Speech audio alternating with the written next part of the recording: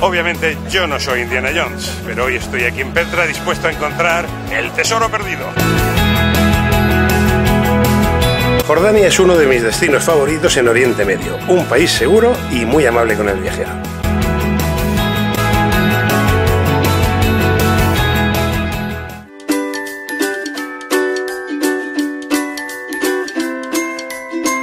Esto es Geras, la ciudad grecorromana mejor conservada de Jordania.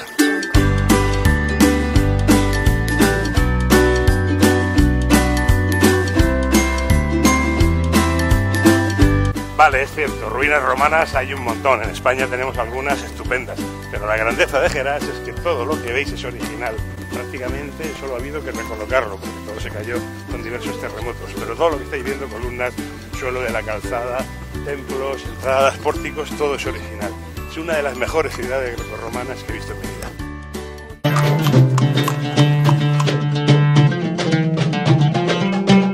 Este es el famoso SIC, el desfiladero que lleva al corazón de Petra, la ciudad de los nabateos. Aunque más que un desfiladero es tan estrecho que parece un esófago de piedra. Estoy sembrado de unas metáforas.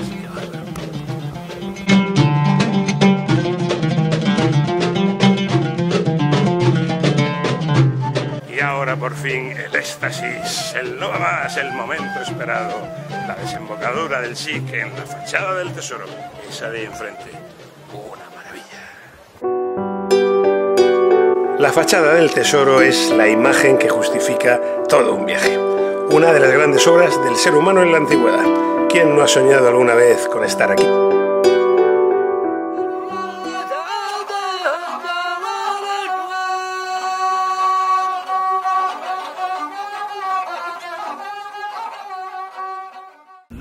Pero afortunadamente Petra es mucho más que la fachada del tesoro. Ahora viene la sección tumbas reales, alucinantes también, seguidme.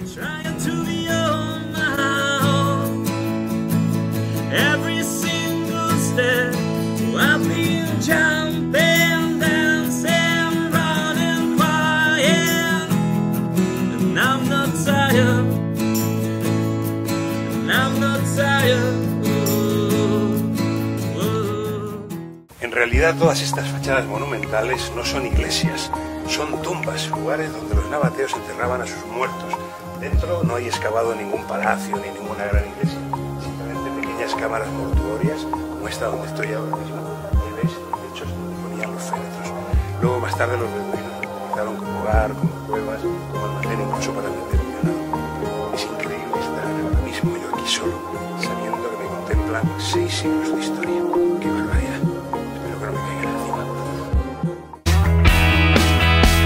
dejado ahora el valle principal y estoy subiendo por las escaleras que lleva al altar de los sacrificios, un lugar ceremonial en lo alto de la meseta muy interesante. Lo bueno de aquí de Petra es que en cuanto te sales de la ruta trillada, te encuentras solo, estoy ahora mismo, y en lugares maravillosos. Es muy fácil.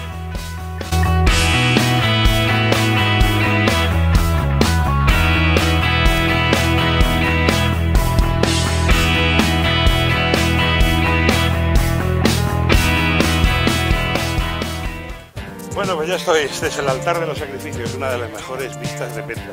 Y eso que veis ahí atrás no es una piscina, no.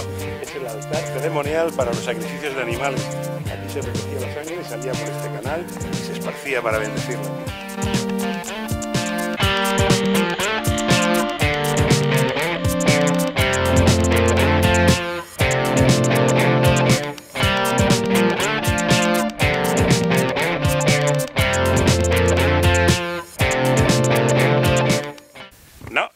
Fiestas de moros y cristianos, es que estoy en el Wadi Rum, el desierto más bonito de Jordania.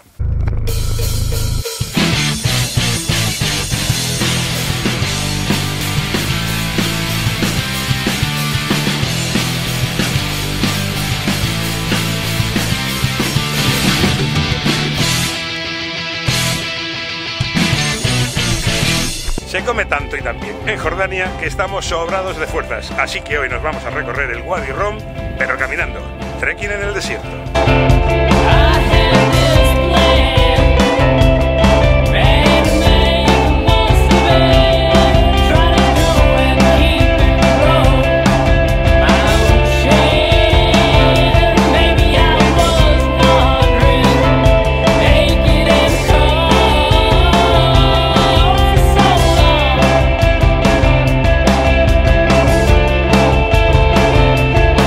Fijaos qué maravilla de paisaje. 360 grados sin mácula, perfectos.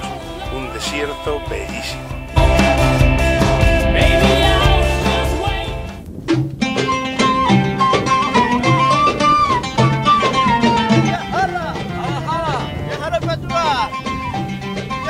Mira, ha llegado la caravana que va a acabar.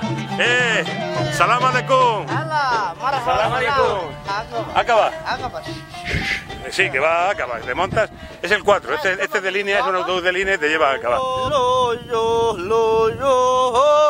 ¡Hala! ¡Buen viaje! Oke. Bye bye. Maksalama. Man salama. Masalah bye bye. Salam aleikum. Habibi. Habibi. Pero cuando de verdad se pone bonito, este desierto es al atardecer. En general todos los desiertos son más bonitos a esa hora, pero este lo es especialmente por el color rojo que ya tienen sus montañas. Vamos ahora a un mirador famoso a ver desde allí, meterse al sol y pasar nuestras últimas horas en Wadi.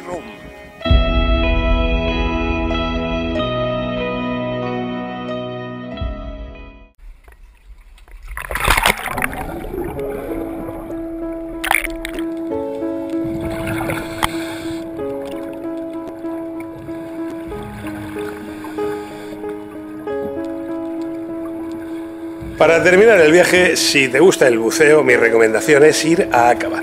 Jordania solo tiene 27 kilómetros de costa, pero alberga algunos de los arrecifes de coral más bonitos de todo el Mar Rojo.